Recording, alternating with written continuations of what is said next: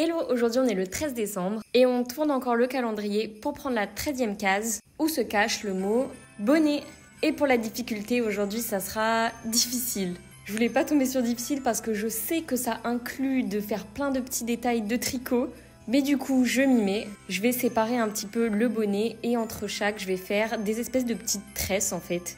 C'est ouais, c'est comme des tresses mais pas vraiment finies. J'arrondis un petit peu le bas du bonnet, je mets un petit peu de texture sur le pompon et je vais commencer à faire les contours. Donc pour le pompon, il faut avoir un trait un peu léger voilà pour donner cet effet de texture. Ensuite, je repasse sur mes traits en fait que j'ai fait précédemment.